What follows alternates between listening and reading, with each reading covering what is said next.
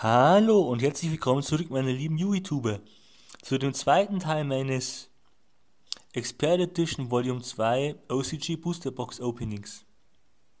Jetzt mit den zweiten 20 Booster Packs. Gut, dann fangen wir gleich mal an. Im ersten Teil hatten wir auch schon ein paar gute Pulls, wie zum Beispiel den finsteren Schalkheuritter und den Gesandten der Nachwelt und noch ein Fried der General ist auch eine gute Karte. Also kann ich auch nur empfehlen, wer den ersten Teil noch nicht gesehen hat. Gut, dann Ninja-Wurfsterne, dann DNA-Transplantation, dann Beschwörung, dann wieder der Meister Kyushu, dann wieder diese Dornenlady, dann der Raketenpulver und ja. Gut. Nächstes Pack. Ich hoffe natürlich, dass wir hier als Ultra Rare Pool einer dieser drei Karten bekommen. Würde mich natürlich sehr freuen. Da haben wir erstes wieder Wiederverwertung, dann Erscheinung aus Theben. Dann der finstere. Boah, ja, ich weiß leider den Namen nicht, jedenfalls ist eine Rare. Dann eine Gottesanbeterin, dann der Geist des Topfes und der unheilige Elefant. Gut.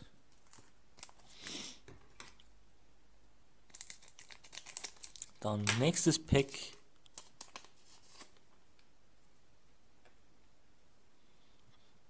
Da haben wir den gelb glänzenden Schild, den Zerstörungsring, mystischen Wok, dann den verrückten Wissenschaftler, Donnerschildkröte und noch ein Sendbote Mars. Dann sind wir auch schon wieder beim nächsten Booster Pack. Wie gesagt, geht alles ganz schnell.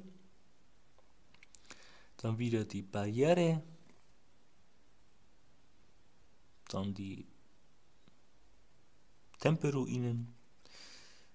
Dann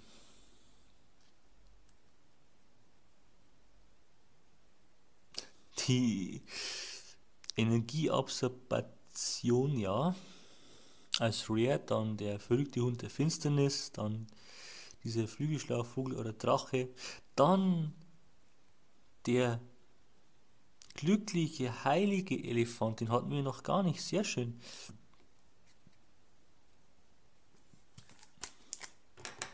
Dann nächstes Pack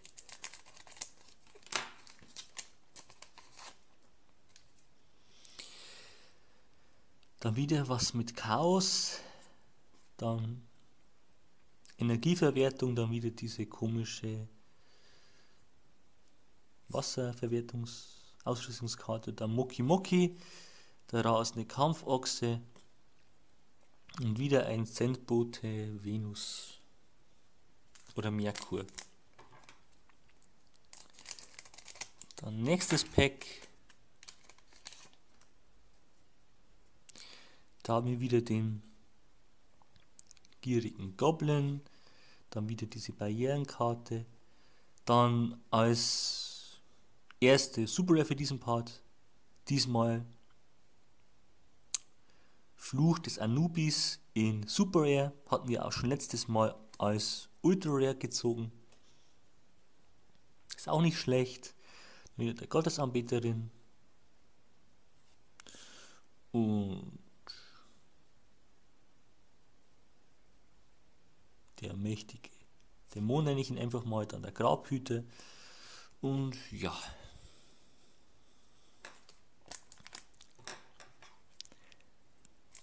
Dann nächstes Pack. Da haben wir wieder Chaos Gear. Dann Muki Muki Aufmarsch. Dann Fallenstörung als Rare. Ist auch eine gute Karte. Dann der normale Giga Gaga Giga, dann der Schwert Ninja und der Engel-Typ.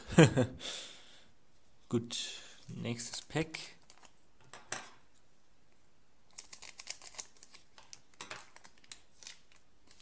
Geht rucki zucki, liebe Freunde. Da haben wir wieder Schwächung oder Bürde der Normalmonster, dann Schwerelosigkeit, dann wieder dieses dunkle Schwert, dann Gigabyte, der heilige Kranich und das ist jetzt, denke ich mal, Merkur, Sempo de Merkur. Gut. Nächstes Pack.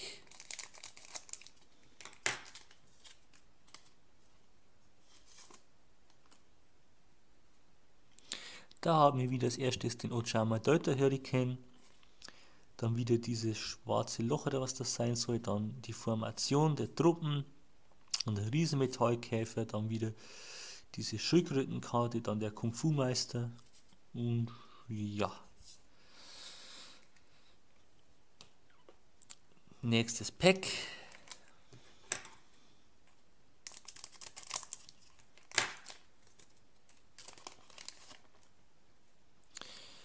Da haben wir wieder den gelb glänzenden Schild, dann Erscheinung der Wüste, dann als Rare irgendwas mit plündernder Goblin, dann den Deskoala, des Känguru, des Lekuda.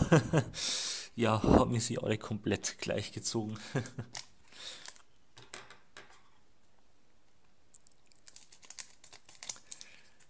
Dann zum nächsten Pack. Da haben wir wieder als erstes das Herz des Unterlegenen, dann die Feuerexplosion, dann wieder den gierigen Goblin, dann die mystische oder heilige Kugel, den Grashüpfer und den Avatar des Topfes, den ich immer wieder lustig finde. ja. Nächstes Pack.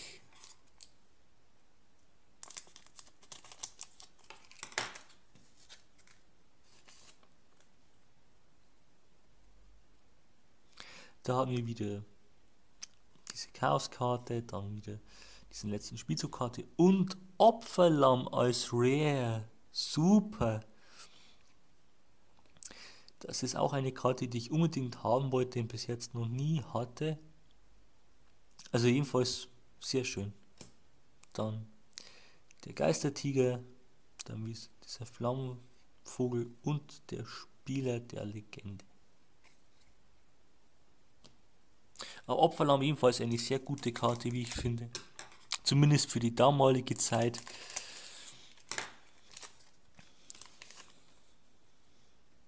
Dann wieder die Schwächung der normalen Monster, dann Rüstung durchbrechen, dann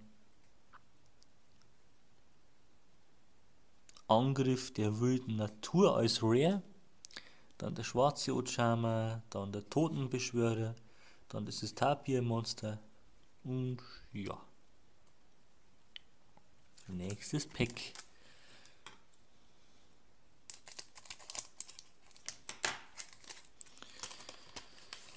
So, bin gespannt auf die nächsten Holos, die wir dann noch ziehen werden. Dann wieder diese magische Beschwörung. Dann die Chaos Gear. Und als zweite Super Rare, die ich finde wirklich Hammer aussieht, mm, das ist auf jeden Fall die DD Kriegerin. Ich weiß aber nicht, was die Karte jetzt, wie die heißt. Ich denke mal irgendwas mit starkes oder heiliges Schwert, vielleicht so ähnlich. Oder Schwert ziehen. Also das müsst ihr mir leider entschuldigen. Dann der verrückte Hund der Finsternis, dann wieder dieser Grashüpfer und der sehenabsorbierende Knochenturm. Genau. Gut. Dann sind wir auch schon bei den letzten sechs Packs mit diesem Pack und nähern uns dann somit langsam auch schon dem Ende wieder.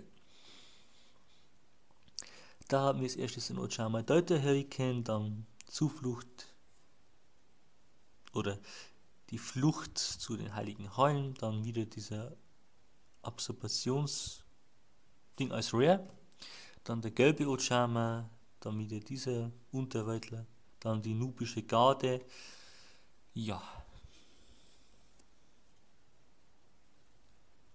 Ich bin auf jeden Fall gespannt, was wir dann noch als zweite Ultra Rare ziehen werden.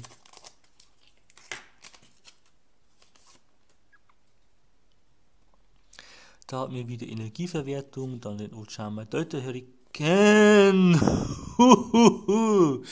ja, genau sowas wollte ich, liebe Yugituber. Den dunklen Magier des Chaos als Ultra Rare. Ich habe ihn zwar schon bei, als ich diese Matte äh, mir gekauft hatte, schon dabei gehabt als limitierte Ultra Rare Version, aber ich wollte ihn auf jeden Fall noch aus dem Booster ziehen. Also das macht die Box auf jeden Fall alles wett. Jetzt habe ich ihn aus dem Booster gezogen in Ultra Rare. Freut mich sehr. Also somit hat sich für mich diese Box auf jeden Fall gelohnt. Da haben wir dann wieder diese mystische oder heilige Kugel, dann der Chaos-Hexer, komischerweise nur in Kammern, was damals auch eine sehr gute Karte für Hexerdecks war. Und wieder der Sendbote der Venus oder Merkur. Ja, dann sind wir auch schon beim drittletzten Pack und haben auf jeden Fall eine dieser drei Karten gezogen, die wir unbedingt haben wollten. Da haben wir wieder Herz des Unterlegenen, dann die Ninja-Kunst, dann das Zwangsevakuierungsgerät als Rare, auch eine gute Karte, auch heute noch. Dann der Priester des Pharos, eigentlich dann der Goblin-Trainer und die Erscheinung aus Theben.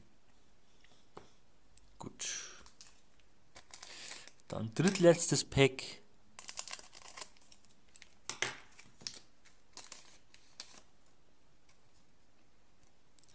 Dann wieder diese Ninja-Wurfsterne, dann DNA-Transplantation, dann wieder diese Beschwörungskunst, dann der Meister Kyoshi, die Dornenlady, der Raketenpulver und ja, das war's. Dann vorletztes Pack.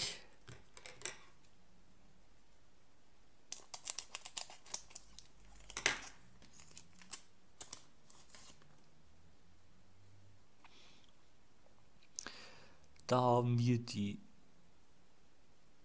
dunkle oder finstere Saat, dann kein Durchkommen, dann Erdbeben, Krieger von Zera, die Blütenkanone und die Vampir Lady.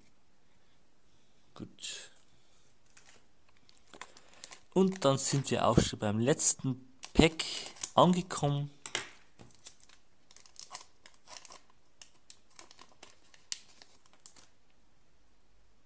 Da haben wir nochmal die Ninja-Wurfsterne. Da wieder dieses aufsteigende heilige Licht. Dann Ketten verschwinden als Rare. Dann dieser komische Fisch. Dann der Sasuke Samurai. Und die weiße Magierin Pikeru. Genau, stimmt, sie war ja in Ancient Sanctuary dabei. Gut, damit sind wir dann auch schon am Ende dieses Videos wieder angelangt und am Ende des zweiten Teils mit einem sehr, sehr guten Dark Magician of Chaos Ultra Rare Pull. Und ja, wie immer am Ende meiner Videos, falls euch das Video gefallen hat, lasst doch gerne ein Like da oder auch ein Abo. Und wie immer für sonstige Fragen oder Anregungen könnt ihr mir wie immer gerne in die Kommentare schreiben. Und besucht auch gerne meine Facebook-Seite, wenn ihr auch da rund um Yu-Gi-Oh! meine Projekte, was meinen Kanal betrifft, informiert werden und bleiben wollt. Ansonsten wünsche ich euch noch einen schönen Tag. Bis bald. Euer Card Collector 116.